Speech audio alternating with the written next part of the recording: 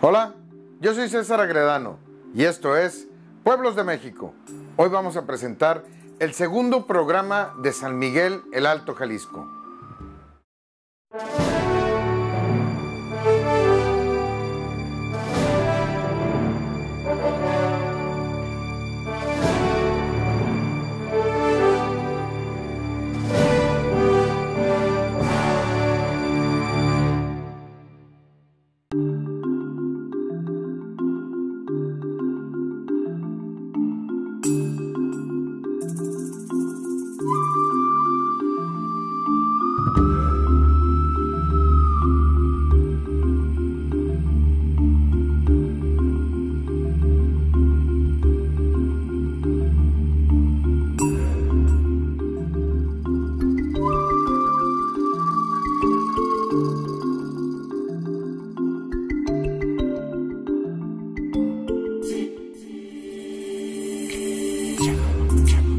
Atoyanalco fue el primer nombre de San Miguel el Alto que significa al otro lado del río. Perteneció al señorío de los Tecuejes.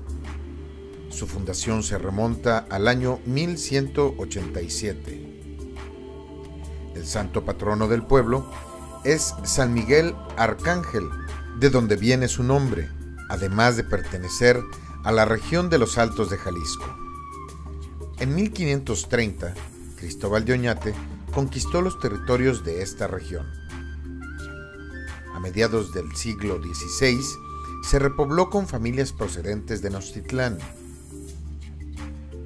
En 1514 se mandó la demarcación del sitio en que debía extenderse como pueblo el villorrio de San Miguel del Ojo de Agua, denominación que hubo que cambiar por la de San Miguel de los Alcalanes, antes de tomar su nombre actual, ya que en 1571 unos españoles apellidados Alcalá y dueños de la calma obtuvieron de los indios la licencia para establecerse en la parte oriental de la capilla levantada por Fray Miguel de Bolonia.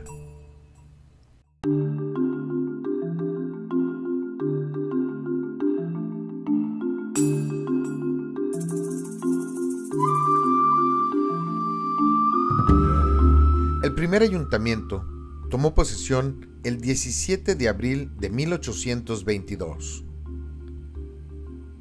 En el decreto del 27 de marzo de 1824 ya se menciona a San Miguel el Alto como municipalidad y se dispuso que perteneciera al departamento de San Juan de los Lagos. En 1837, San Miguel el Alto es cabecera de partido y pertenece al distrito de Lagos. En lo eclesiástico, fue erigido cabecera de cuarto en 1832 y dejó de pertenecer a Jalostitlán.